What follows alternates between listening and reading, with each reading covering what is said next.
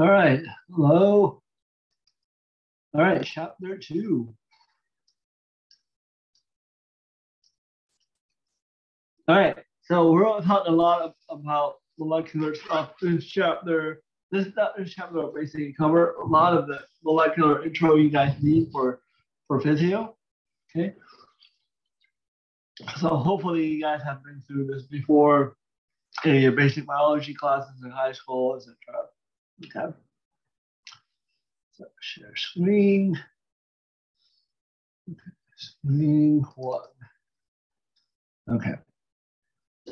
So uh, molecules and bonds. Okay. So and, this will probably be first part out two lectures because I, I want to make this up a little bit. Okay.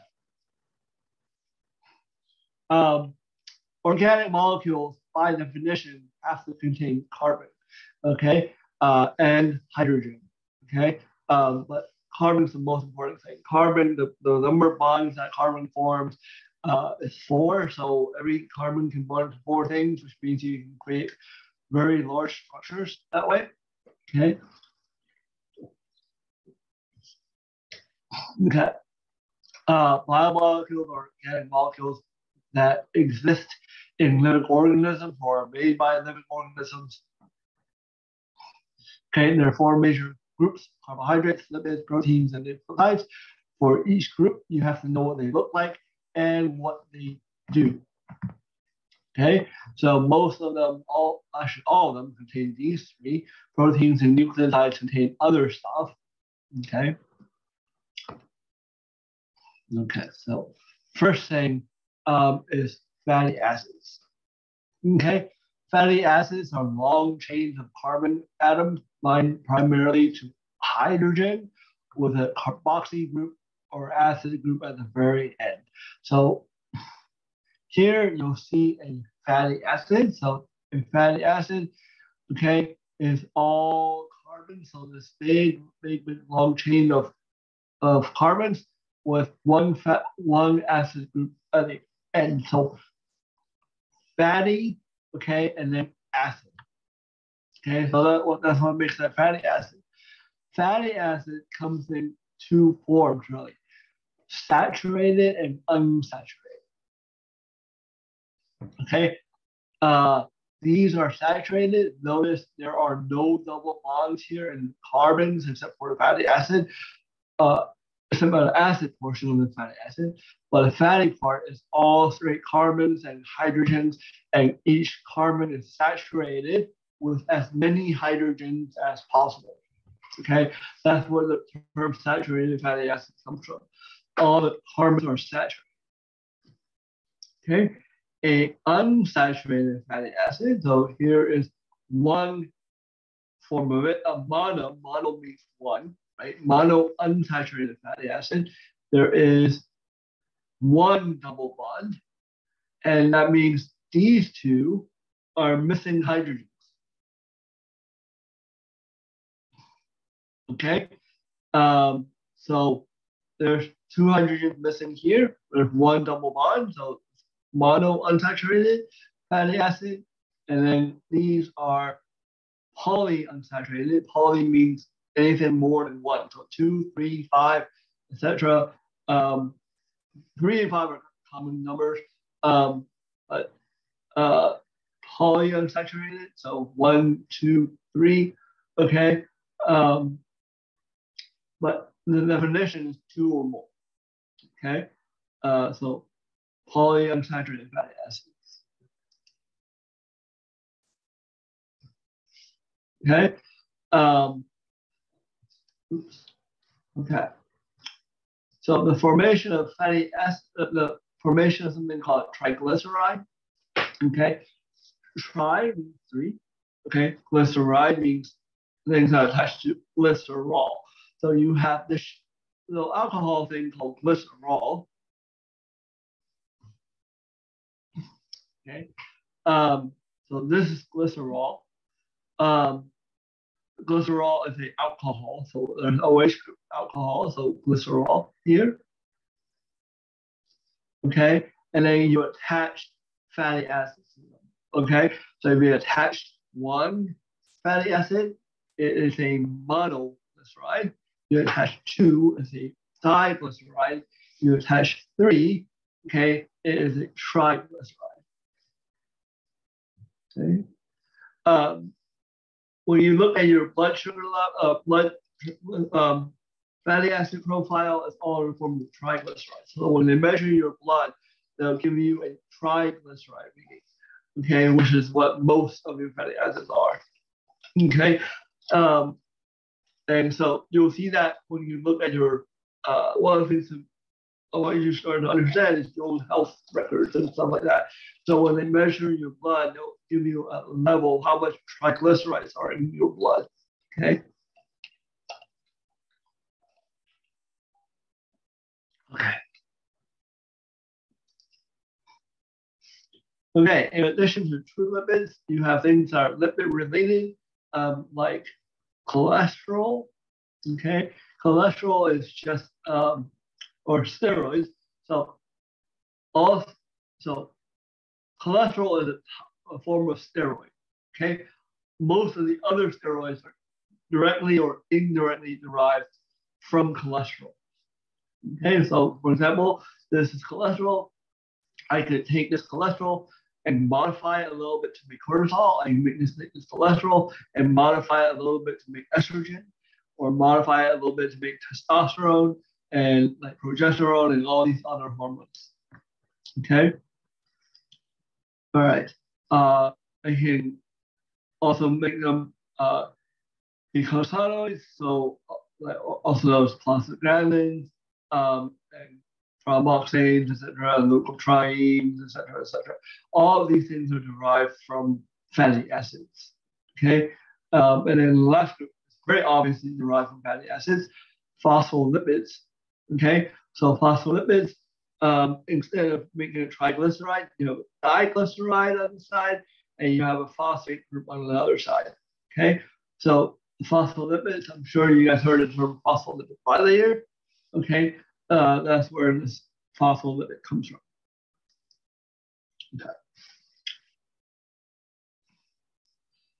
Okay. The biochemistry of carbohydrates. Okay, uh, carbohydrates um, are sugars. Okay, uh, sugars usually come in uh, five carbon, six carbon, or seven carbon forms. The seven carbon is not very common, so don't even show it here. Uh, but five, okay, five in Latin is pent. So five carbon sugars are called pentoses, like pentagon. Okay, six carbon sugars are hexoses. Okay, uh, so the way the word breaks down, okay, hence is five, os is sugar. So anytime you see the word OSE, you know it's sugar. For example, sucrose, okay, lactose, glucose, or an OSE. OSE is sugar. Okay, um, hexose six carbon sugar. Okay.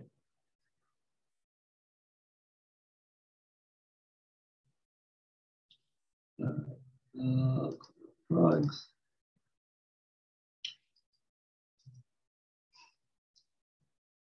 Okay, so I can take six carbon sugars, okay, and, and five carbon sugars as well, but it really doesn't happen in the body very often. You take six carbon sugars and combine them together. So each one of these is called a monosaccharide. You join together two monosaccharides, you get a disaccharide.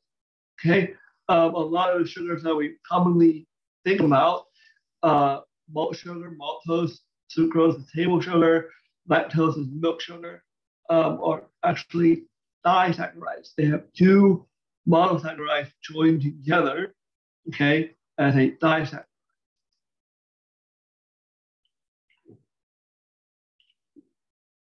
Okay, mono and disaccharides are used for a quick energy source. Okay, they're easily dissolvable in blood, they're easily broken down into ATP, Um, so we use them as a quick energy source. Okay, fats we use as a secondary energy source. Okay, um, but monoglycerides and diglycerides we use as a very quick energy source. Okay, if you stick together disaccharides into much larger molecules, you get something called a polysaccharide. Polysaccharides um, are used for two reasons. One, they're a storage sugar like glycogen or starch. Okay, these are storage things. Um, therefore, to pack sugar tightly together so you can store them easier, but you can still release them when you need it. Okay, so th these are for storage. Okay, another thing we can do is actually change the sugars so they're indigestible into chitin and cellulose. Okay, and those are for um, filament structures like plants. The reason why we can make trees and stuff that are so big and strong are because they're primarily made out of cellulose. Okay, and they're structural. They're called structural polysaccharides because they're used to build structure. Okay.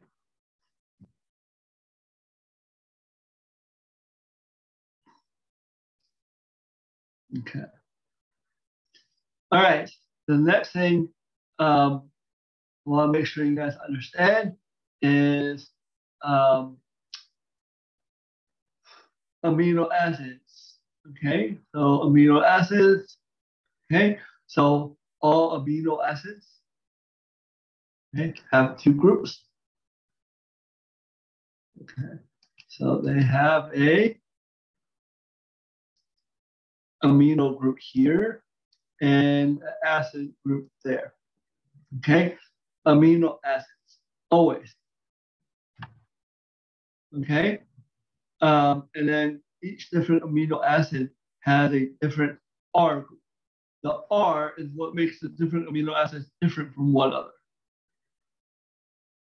Okay, and when you combine amino acids, you can combine the acid portion on one side to the amino portion on the other side. Okay, that particular bond is a really strong bond called a peptide bond. Okay, so you form a peptide bond. When you string these amino acids together, you form a polypeptide. Okay. All right.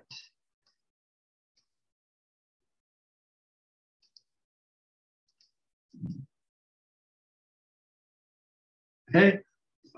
Uh, each amino acid has three letters abbreviation and a one letter symbol for it. You do not have to learn, you do not have to memorize what they are. Okay, so don't spend time memorizing the chart. Okay, so um, proteins have multiple levels of structure. Okay, there are 20 amino acids that go into forming, or 20 different amino acids that go into forming proteins. Okay, uh, if you think of them like letters of the alphabet, that kind of works. Okay, um, peptides okay range in length from two to two million amino acids. So think of a word with two million letters to it. Okay. Um, okay.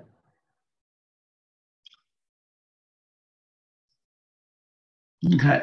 So we talk about oligopeptides, which are really short peptides, two to nine amino acids.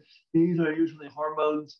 Um, polypeptides usually range from 10 to 100 amino acids, um, sometimes a little longer and proteins are, are greater than 100 amino acids, okay? Much, much longer, okay? Okay, so the primary structure of the protein, okay? So there's four levels to protein structure. The first is primary, secondary, okay, tertiary quadrant. One, two, three, four. Okay, the first level of primary structure is literally the sequence of amino acids. how the amino acids are lined up next to each other. Okay, what follows what? Like which amino acid follows which amino acid follows which amino acid. Okay. Once you put those the primary structures together, a normal secondary structure will form. Okay, the secondary structure is created primarily by hydrogen bonding.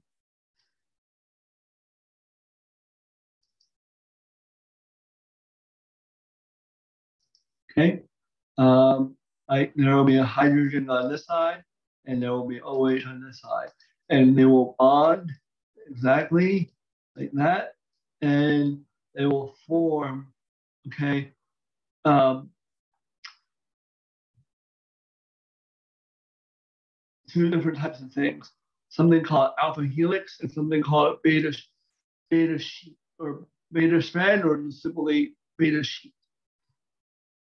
Okay, so um, they don't always form these. Sometimes they don't have so there are parts of the protein that don't have secondary structure. Okay, but the secondary structure are alpha helices and beta sheets. Okay.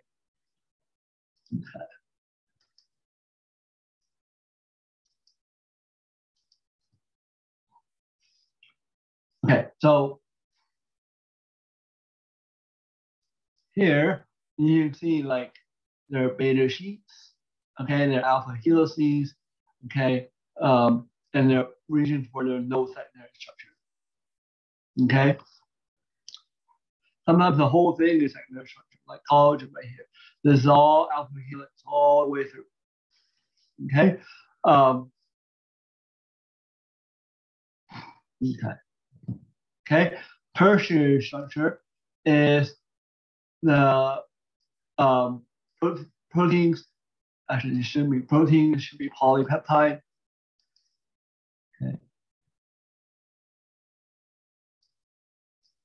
Oops, text.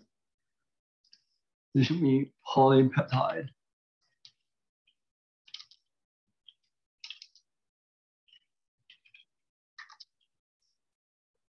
Okay, polypeptide three-dimensional shape. Okay. Okay. So finally, okay, a protein, okay, is the quaternary structure, okay, of um, of polypeptides, sorry, polypeptides put together. So you take this structure here, okay, you make four of them, you put them together, and that's the quaternary structure.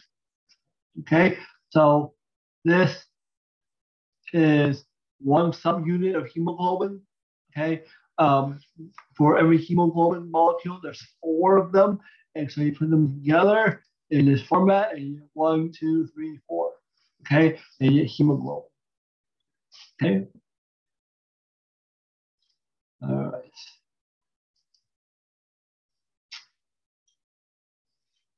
Okay. Uh, last group is nucleotides. Okay. Um, nucleotides break down into groups. Okay. Um, you have a new, so this is a nucleotide. A nucleotide has three parts. So make sure you know all three parts. It has a base, it has a sugar, okay, um, and then it has a phosphate group. Okay, the, the base can be um, split into two types, purines and pyrimidines. Okay, purines have two rings to them. Okay, pyrimidines have one ring to them. Okay, the way I remember uh, purines Okay, uh, the first two letters in purine, uh, sorry, the first two letters in pyrimidines is pi, and the pi is circular, so it only has one ring. And what you do with pies is you cut pies. So the uh, uh, the nucleotides that are pyrimidines are C, U, and T. You cut pies. Okay, So, and then the other two are purines. Okay. Okay. Okay, so um, we can skip these, but you can see like nucleotide ATP. Um, I'm sure you guys learned ATP, ADP, NADH, uh, NADH, FADH2, etc., etc. All these are actually based on um, nucleotides. Okay.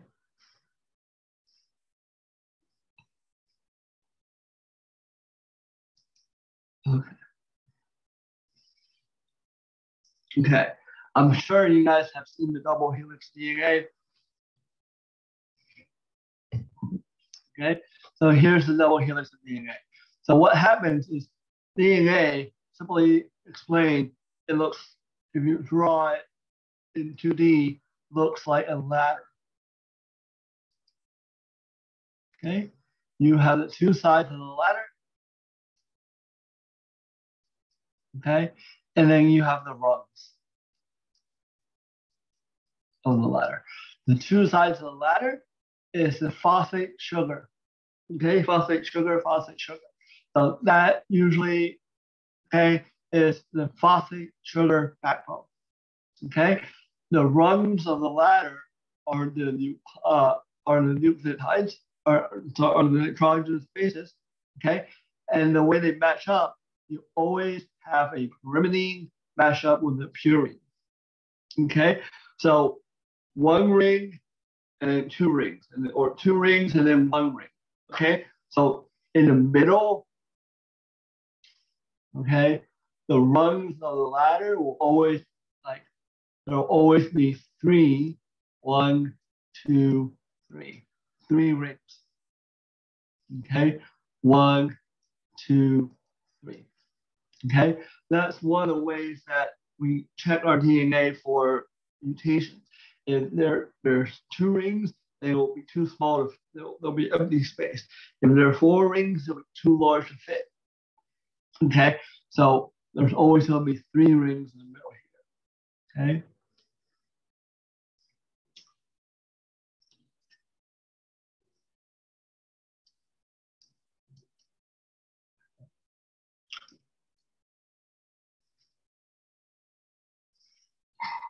Okay, so because purines are larger than you always form three. Always one period and one pyrimidine. Okay?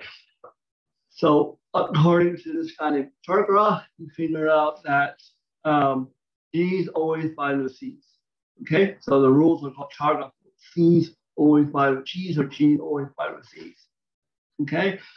Uh, so they form three hydrogen bonds between them.